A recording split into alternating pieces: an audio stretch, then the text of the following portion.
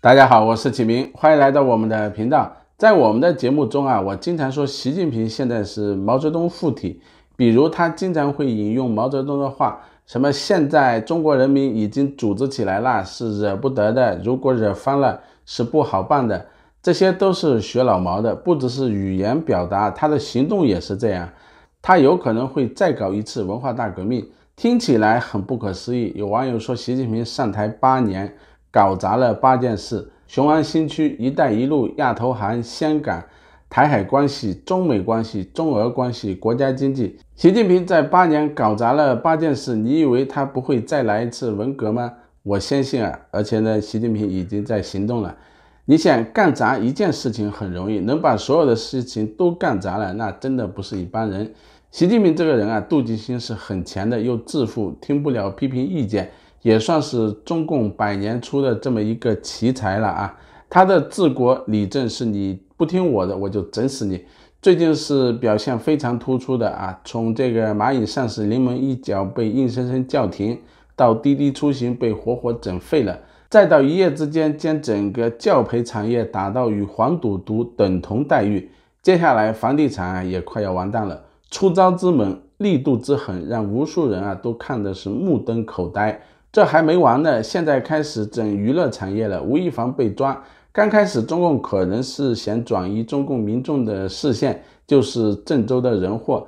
但是吴亦凡粉丝的抗议，还要什么劫法场什么的，救这个吴亦凡。说解放军和警察队伍加起来也就是五百万，吴亦凡有五千万粉丝，这当然有可能是中共的特务混进这个粉丝群的故意为之。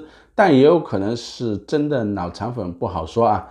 这样我猜啊，这个吴亦凡会被中共整得很惨，很快就会被判刑。接下来，习近平就要整这个娱乐圈了，因为你这是明显的和中共对着干了嘛。中共怎么能容忍得了呢？吴亦凡啊，我说是成也粉丝，败也粉丝。就在这两天，中共党媒一篇政策定性式的批斗文章出台。眨眼间就引发腾讯等几家电子游戏巨头的股价呢暴跌，更让无数电游产业从业者瞬间如坠冰窟，大呼这是在玩产业自杀游戏吗？很多人是搞不清楚习近平这是要干什么，是不是吃错药了？他开会时呢经常用两个杯子，也有这种可能啊，跟大家开个玩笑了。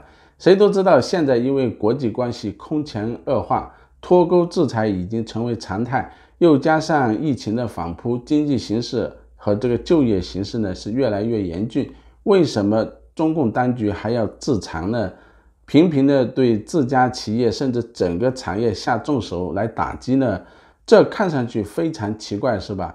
这就是我们节目刚刚开始说的，习近平现在毛泽东附体，要闭关锁国，因为以他现在的智慧啊，想不出什么办法和出路，又不想放权。就学毛泽东这一套了，搞权术整人。也就是说，这不是习近平一时兴起的心血来潮，或者打击敌对和这个转移民众视线，不是那么简单，而是沿着一个明显的既定方向在走。尤其是对教培一刀切，整顿粉丝圈的乱象，以及打击网游电子毒品这连环招数啊的背后啊，体现了一个逐渐清晰的轮廓。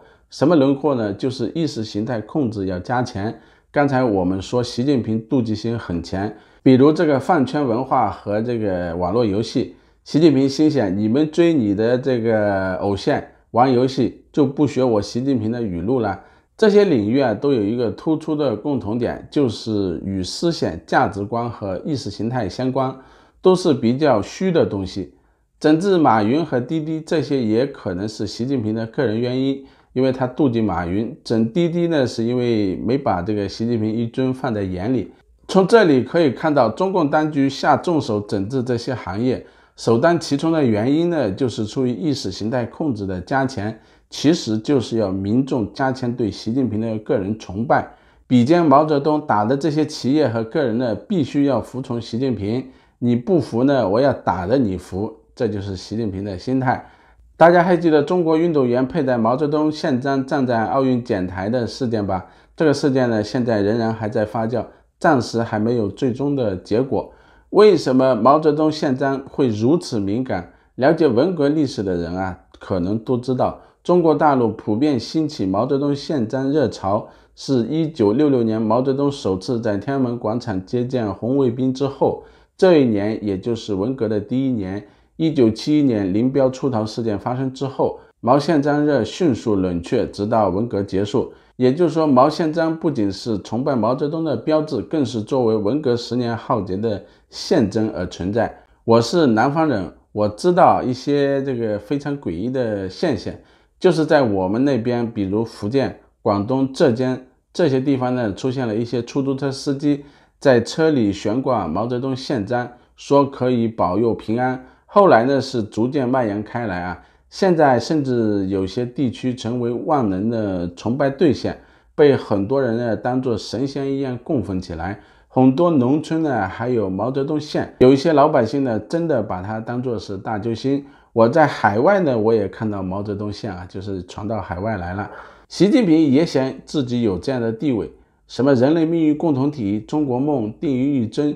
从表面上看，这似乎只是一种形式，但实际上是向毛泽东看齐。这也是文革中神话毛泽东、极度崇拜的另一种方式的延续。我多次说过，中共其实是一种邪教，而且是政教合一的邪教。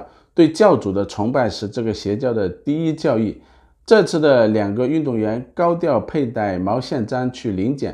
是不是中共刻意的安排呢？因为这一次啊，我们看到包括环球网和观察者网这些经常冲在第一线的党媒，迅速进行了炒作式的报道，这个事件也迅速进入微博热搜。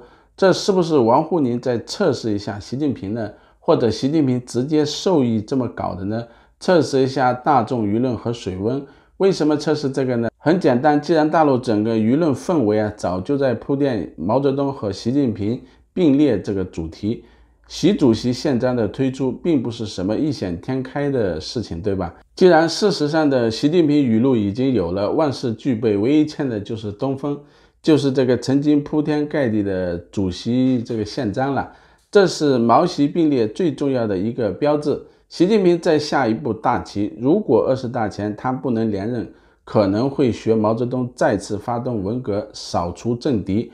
外部环境已经具备习近平这么做了，因为全球围剿中共，习近平也在做闭关锁国的准备。在闭关锁国前，他要先控制意识形态，最后完成他做一回土皇帝的梦想。但是，习近平能不能坚持到二十大呢？